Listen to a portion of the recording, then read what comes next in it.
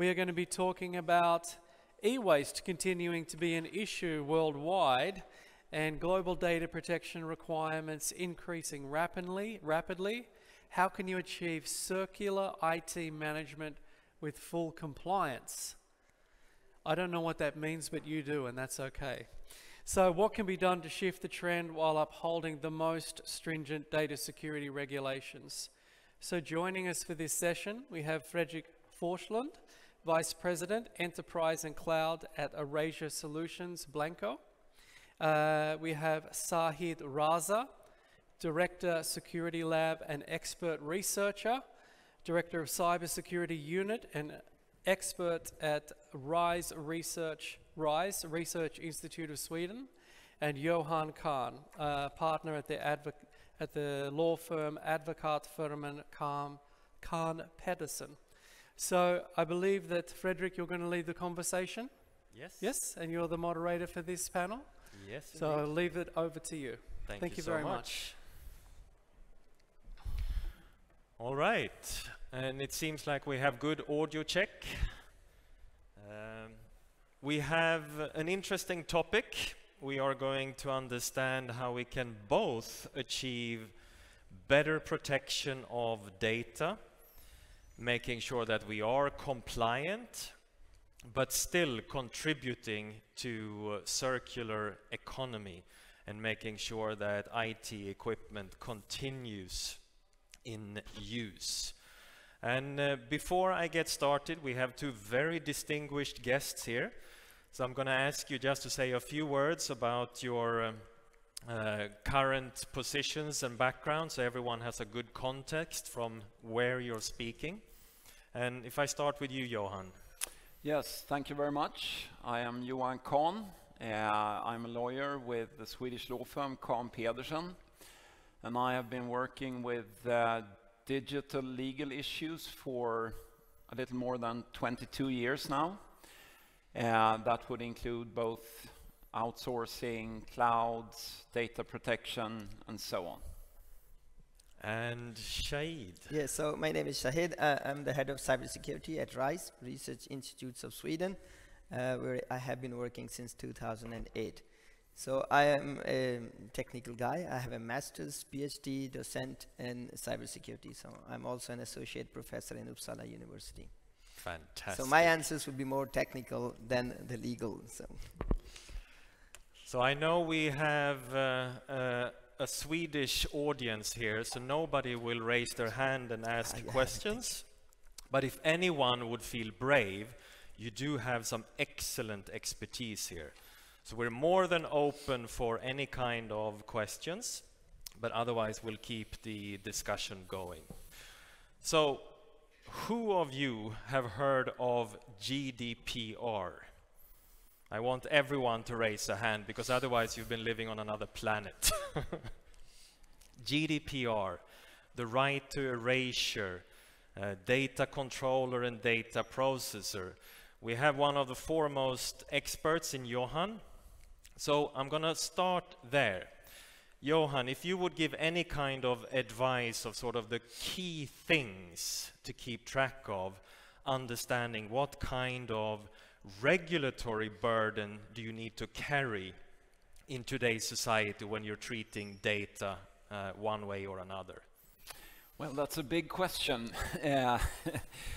As uh, you all are aware, uh, the GDPR is a comprehensive regulation governing any type of processing of personal data. So that means if you are a controller of personal data, you need to be in control of the processing. If you are not, in terms of security, in terms of uh, policy, in terms of um, uh, not fulfilling your obligation in relation to the data subject, you would risk to be in breach of the GDPR and could face some pretty stiff sanctions. That's the short version. And, and trust me, I've been in this industry for almost 25 years, and there has been a very steep progress after the GDPR came into um, uh, to action, even the year before when everyone was preparing, because suddenly you went from nice to have to need to have because otherwise it could be very expensive if you are not doing what you should be doing. Um, we're setting the stage here. We understand that GDPR brings a lot of pressure. Uh, compliance is another uh, key word. I'm going to ask Shahid to uh, explore that a little bit further. Yeah, thank you. So, you know, when it comes to compliance, there are typical two ways. So, first, you're ticking the boxes as a company. Okay, I fulfill these requirements, whether it's GDPR or it's EU Cybersecurity Act or it's NIS 1 or 2. Uh, the other um, is more you provide some sort of digital guarantees, uh, guarantees based on, based on um, mathematics and cryptography that I have a right to erasure.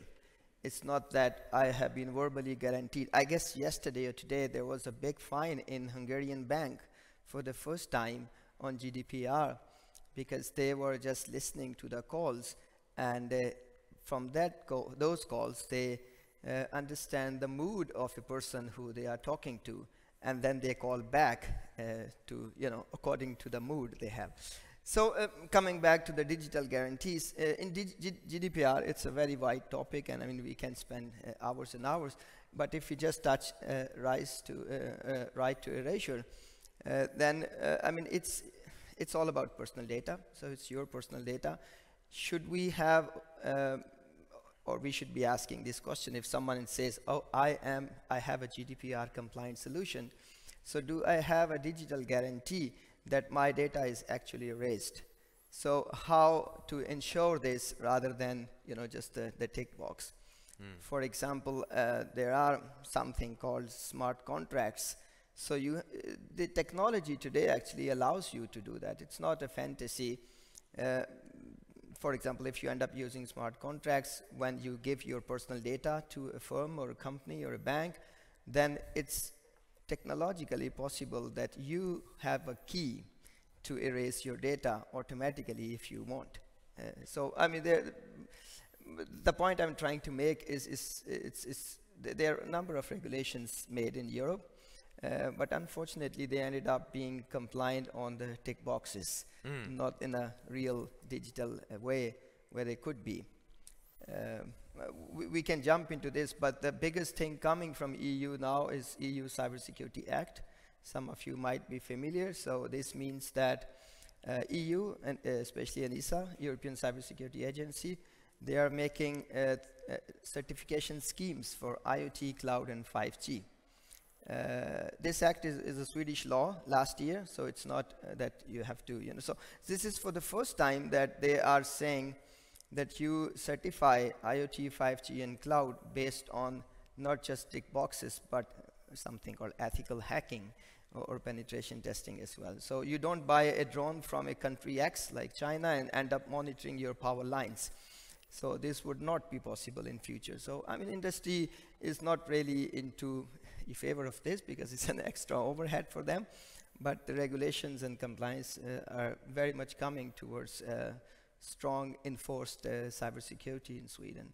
And RISE is uh, owned by Näringsdepartement, which is um, uh, a state um, Department of Enterprise.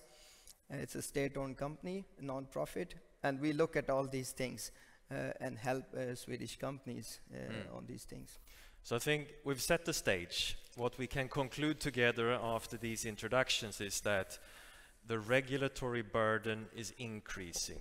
Uh, it is very costly if something goes wrong. It's becoming more complicated. There's more things we need to keep track of. So what does that lead to? What's the connection to e-waste all of a sudden? Well, we understand that we need to protect our data because otherwise it can be extremely costly. So that means a lot of organizations still choose very extreme measures to protect data end of life. If we are decommissioning servers, we are actually seeing a lot of uh, uh, destruction of the actual hardware that has been used to store the data. So a lot of compliance, a lot of regulatory uh, pressure, and you end up destroying your equipment just to protect the data because you do not want any data breaches or data leaks. So that's the connection. But with today's technology, there are alternatives, and we'll come back to that. But before doing that, uh, we talked a little bit, Johan, before uh, this session about it's not only your intent, what, what you think uh, is a reasonable uh, way to perform. Uh, I tried my best. You actually need to prove that you have accomplished something. Maybe you can elaborate a little bit more on that and how the legal requirements look like. Sure. In Sweden, in Swedish, there is uh, a saying, um, uh, det är tanken som räknas. It's the thought that counts. Unfortunately, that doesn't apply to the GDPR.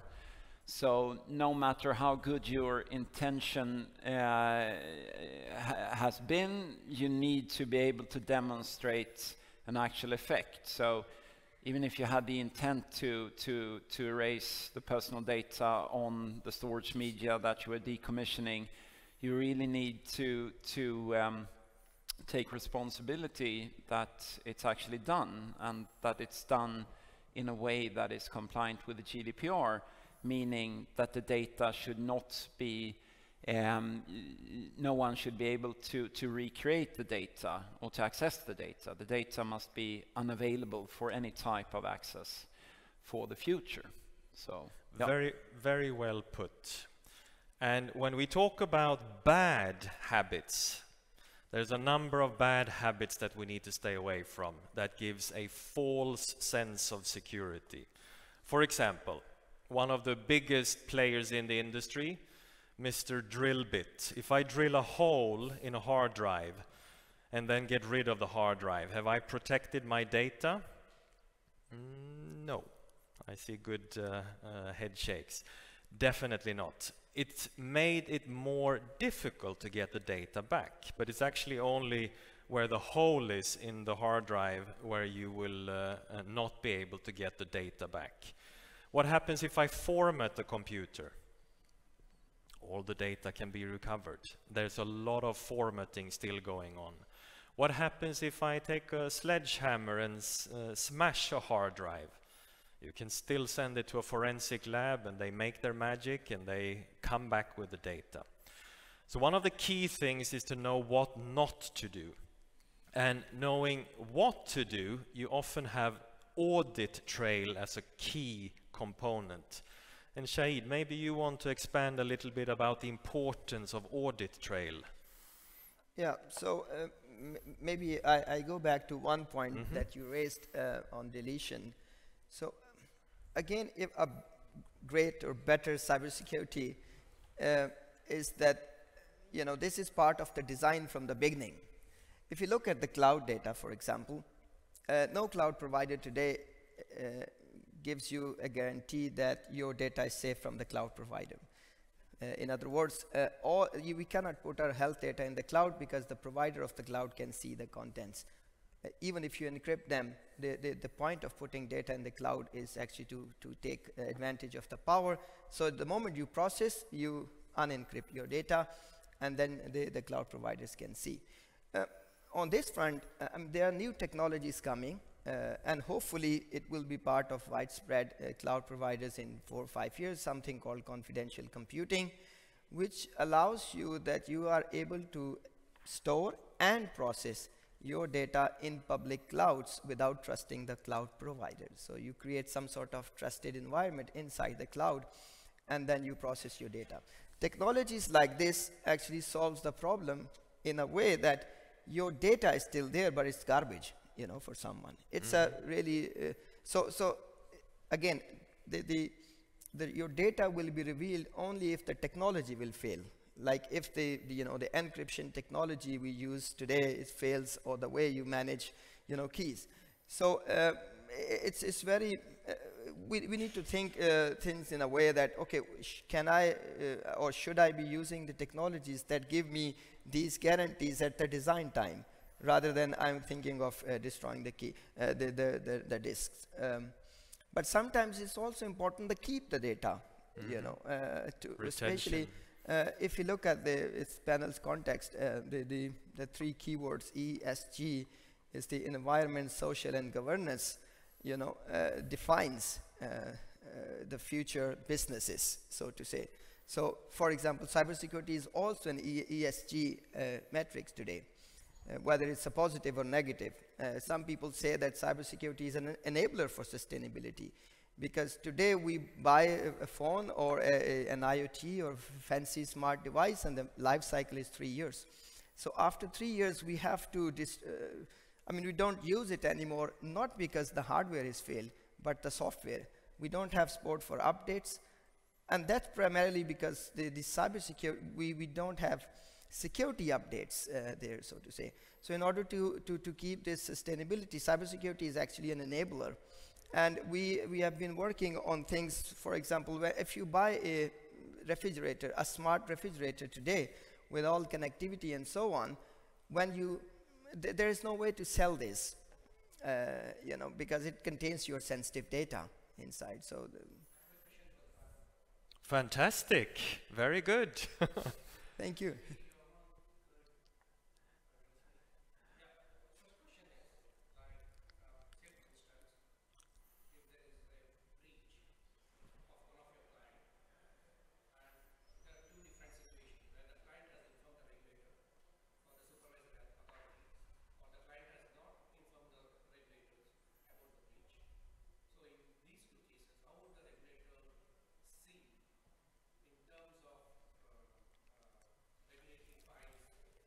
Yeah.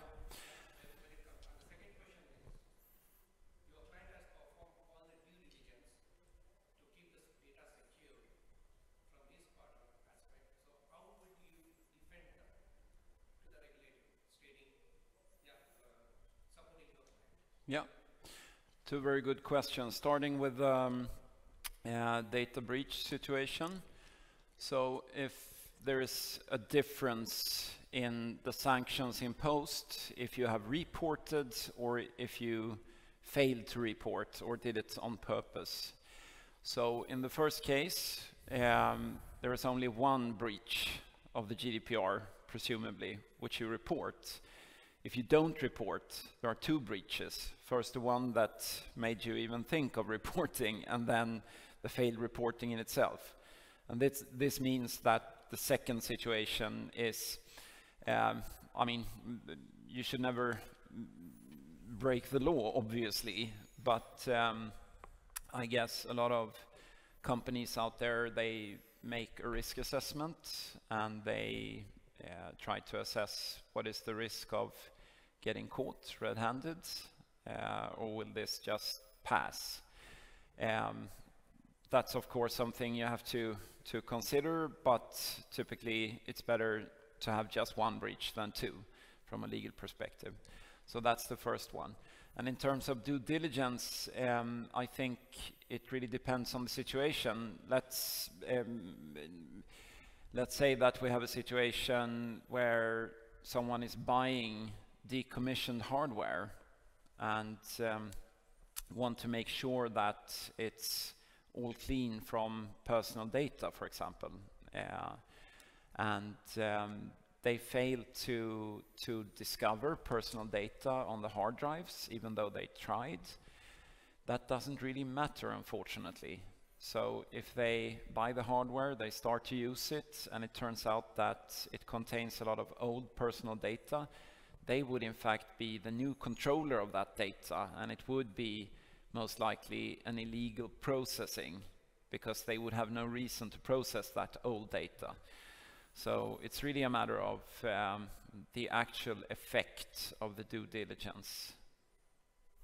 And I can tell you that uh, we spoke about this example beforehand. A good question that you brought up. We actually see some organizations that are so security aware that even when they buy new equipment, they sanitize it, which is the technical term used in the industry for erasing it. They sanitize the system before it's taken into use. And then it's sanitized again at the end of the life cycle, just to make sure that there's no spyware Trojan or something that's coming with the system from uh, uh, some sort of uh, uh, attacker or that it uh, contains data. Uh, one study that was done uh, just a year ago, uh, someone went out to buy hard drives, second-hand hard drives on eBay, only from professional vendors. All of them stated that there's absolutely no data on these drives. They have all been erased. After running recovery software, 67% of the drives still contain data.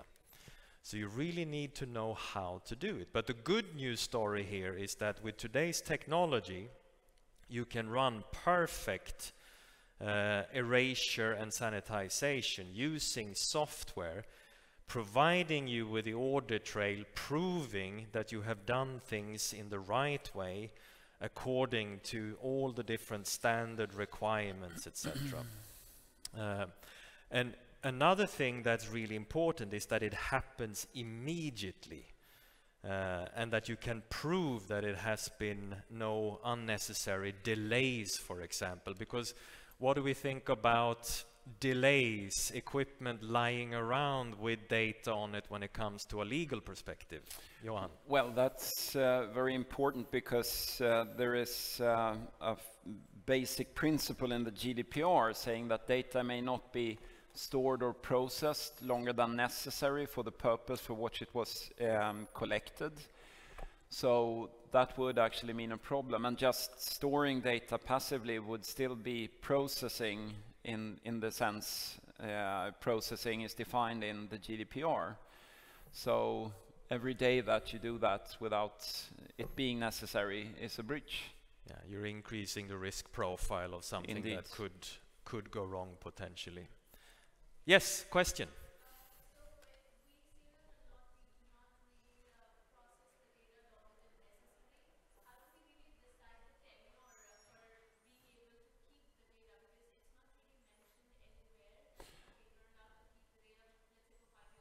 Yeah. You, you're not allowed to keep the data for longer than necessary. That's the simple answer.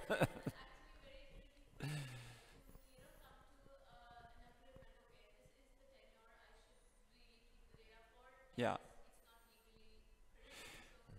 No, it's difficult and it's a very common question that we get. How long are we allowed to keep the data? Let's say a customer that hasn't engaged with the company for a period of time, do we have to, to erase it or not? And it really depends on the circumstances in the specific case.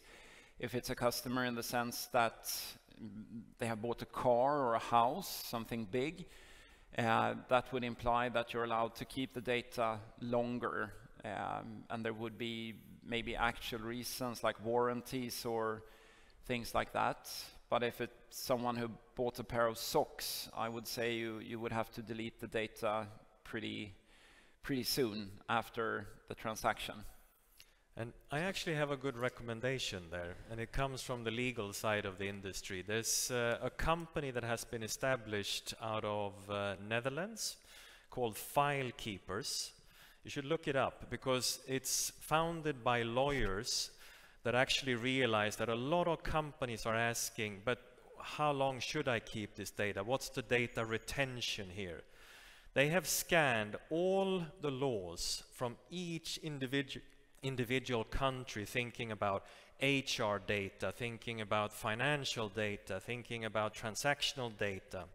So they can help you categorize in this jurisdiction this kind of data, this is the data retention legislation that you need to live up to. It's a extremely fast growing business. I can strongly recommend them. They're really good at what they do and exactly helping with the kind of question that, uh, that you brought up. Um, another question, fantastic.